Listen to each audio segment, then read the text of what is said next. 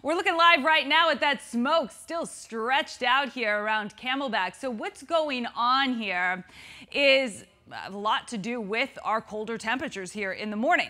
So colder air is more dense. It wants to sink. So it is just trapped here at the surface with relatively warm air above. This creates an inversion. Now we don't still have flame action at the landfill, but it is still smoldering. I saw it yesterday afternoon, still punching up into the atmosphere. So that smoke is rising, but now it's trapped because of that inversion. And even with the slightest push of a easterly or southeasterly wind, which is typically what we have set up here in the morning, it's shoving it in the direction of Scottsdale and Phoenix. I know I hit the wall of smoke when I got to the mini stack earlier this morning, and the walk from the parking garage here into the studio was enough to have me smelling like smoke still and my throat burning.